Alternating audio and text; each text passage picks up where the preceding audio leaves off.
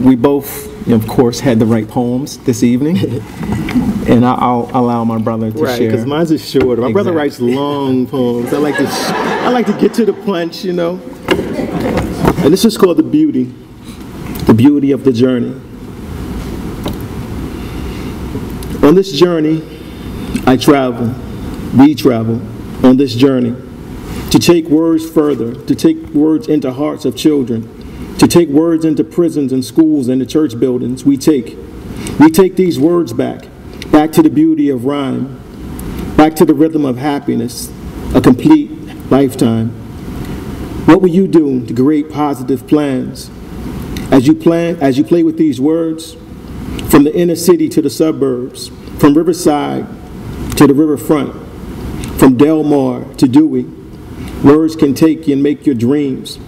Words can, words can make dreams of things that once seemed impossible possible. It's those words. Those words, the words we play with, become paragraphs to help redefine success. And even if you fall short, your words can become your goals to propel you away from failure.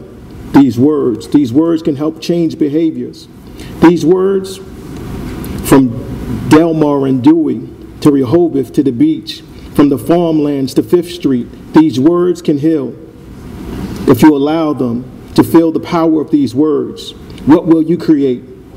Create with passion, create with energy. It's these words. These words can help release stress, to prevent death.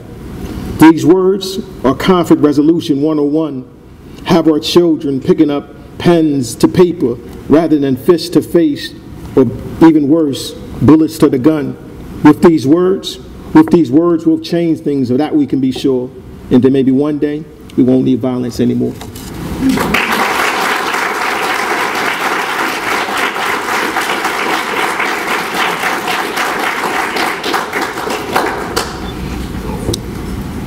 Poetry captures what we sometimes cannot express. The unrestrained happiness, the blank loneliness, and even the ugly laughter, and the pain and remorse and frustration of having to yell that your life does matter. With the destruction that happens here day after day, some feel that God must be looking the other way. The direction changes when we practice our faith and we pray. We can only fulfill our promise when everyone's potential comes into play. Equal contributions, shared solutions, when everyone's cares, when everyone cares about every place and every person throughout Delaware. Today matters to tomorrow. Come happiness or sorrow.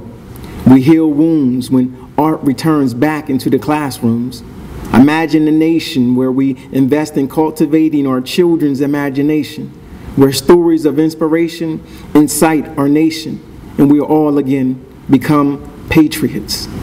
When we will not allow anything to divide us or disrupt us or corrupt us, and we fight for what's right, to breathe new life into new leaders, preparing those who will succeed us. United in our efforts, nothing can defeat us. Thank you.